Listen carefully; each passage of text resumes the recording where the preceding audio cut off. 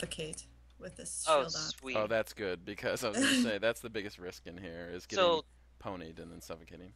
Generally, one person will stay behind again as an anchor. I'll stay behind. You can rush with Farvo, Okay. and it's like straightforward process.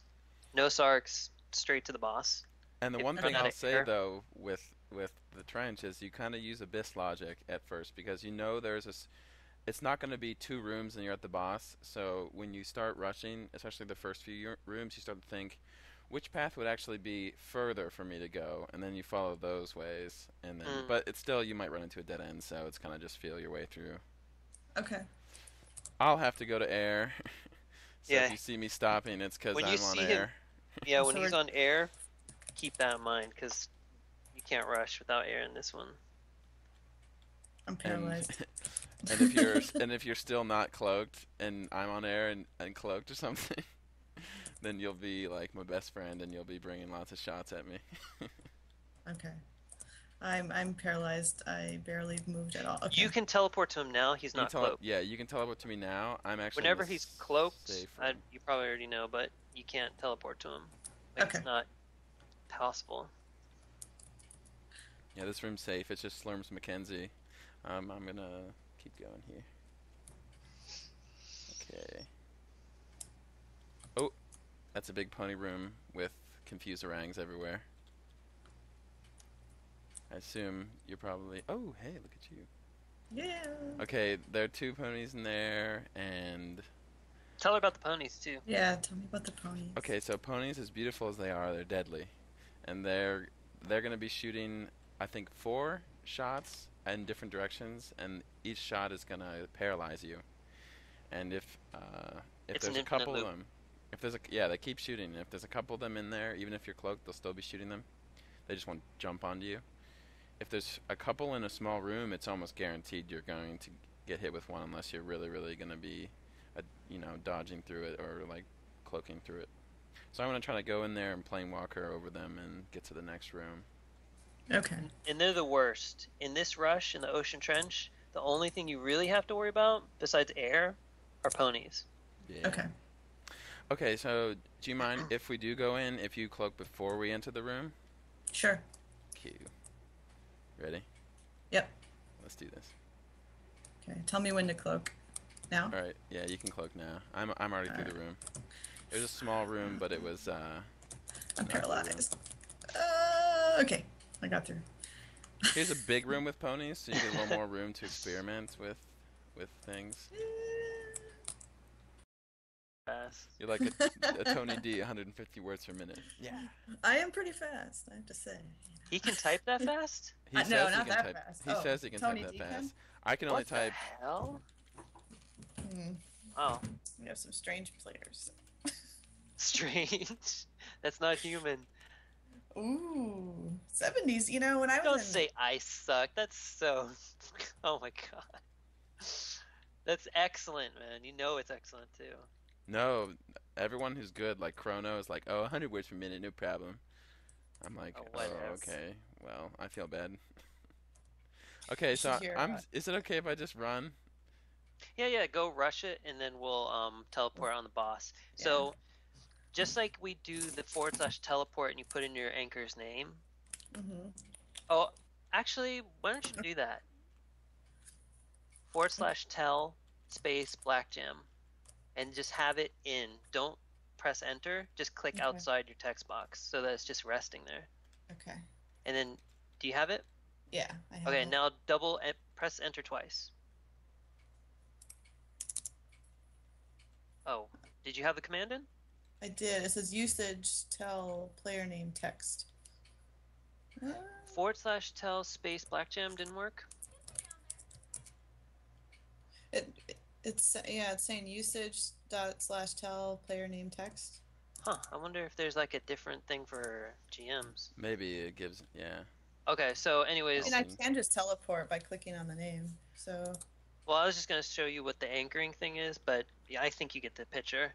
Um, Yeah. When people go in to fight this boss, sometimes she goes into Dying Thessal mode, and you'll see it if she does. And they'll already have the phrase typed out, which is "He lives and reigns and conquers the world." okay, and Like, that's they how you Sure. What, what what is that for exactly? It's it's only a very rare occurrence where sh instead of dying like usual, she doesn't die and she's like asks, she a has a query for Yeah. you, and then you you respond to her. With he lives and reigns and enters the or enters Conquers the conquers the world. world. Yeah, that got a little bit risque. Yeah.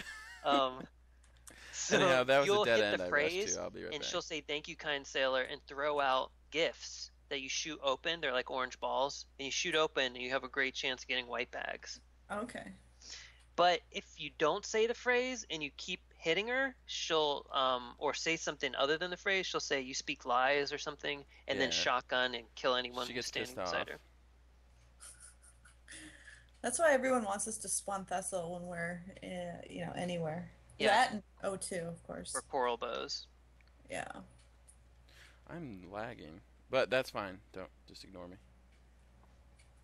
Continue to discuss Thessal. I agree. She's fun. And with tombs, when somebody, if unless someone buys a key and opens it, what they usually do is pay. They'll find a player that has a key and pay them one life pot to open it for their group. Okay, that's It- the trade. Yeah, and what happens is everyone will fight the boss, and then if they get more than if they get two or more life pots, they'll give whoever opened it, whoever bought the key or paid for the key, they'll donate to that person one of their life pots if they get two or more. Well, that's nice.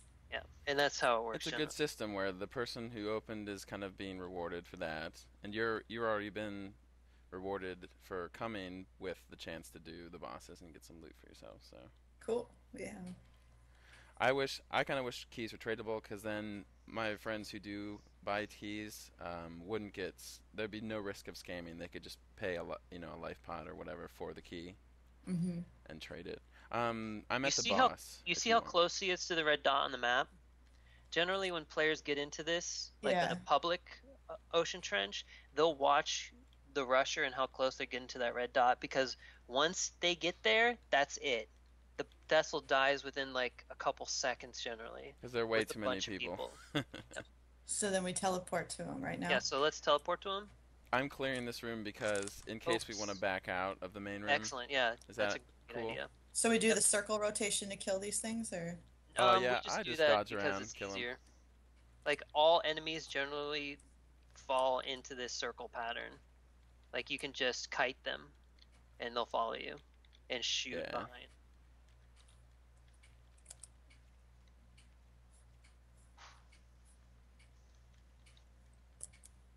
And the reason he's clearing this room, I guess you probably already know, is that when we get into the main room to fight her, if we run out of oxygen or our health goes down, you want a safe area, and that air that room is not safe because Okay. there's these giant squids that will guard the air holes. Here's one of them right here.